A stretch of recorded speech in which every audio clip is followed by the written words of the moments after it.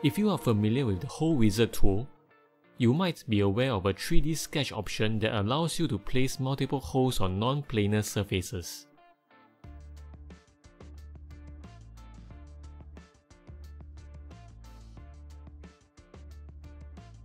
Moving on to the assembly, you might need to insert a common component into each of these holes.